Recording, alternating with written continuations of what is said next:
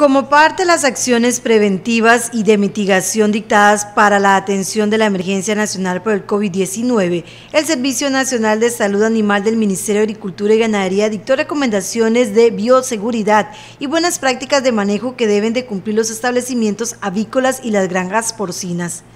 Estas medidas aplican para los establecimientos avícolas, acuícolas, apiarios y granjas porcinas.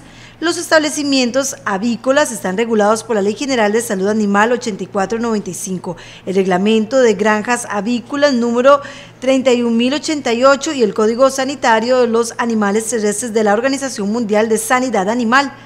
Las siguientes son las medidas recomendadas por el SENASA para estos establecimientos.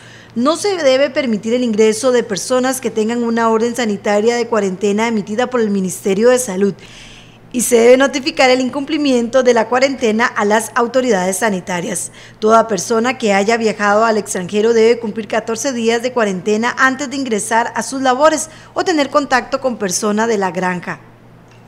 Además, no se debe permitir el ingreso a las granjas de personas que estén visiblemente enfermas. En caso de que algún trabajador sea sospechoso de COVID-19 o de haber estado expuesto a un caso sospechoso positivo, debe reportarlo a las autoridades y realizar una cuarentena mientras se define su situación.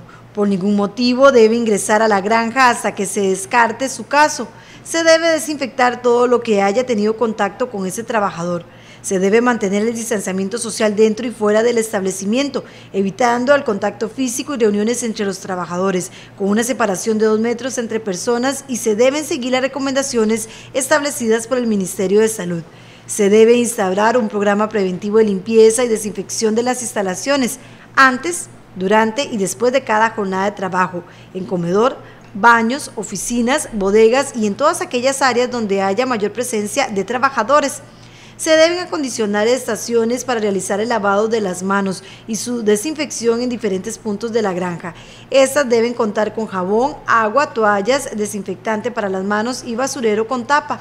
Se debe colocar material informativo sobre el correcto lavado de manos y el protocolo para el estornudo, los cuales deben ejecutarse dentro y fuera de la granja. Se deben establecer horarios diferenciados para el ingreso y salida del personal por áreas, así como de los tiempos de receso, de manera que se reduzca en un 50% la aglomeración del personal en áreas comunes como espacios de lavado de manos y comedores. Los trabajadores y sus familiares deben movilizarse únicamente de la casa al trabajo, acatando las recomendaciones establecidas por el Ministerio de Salud.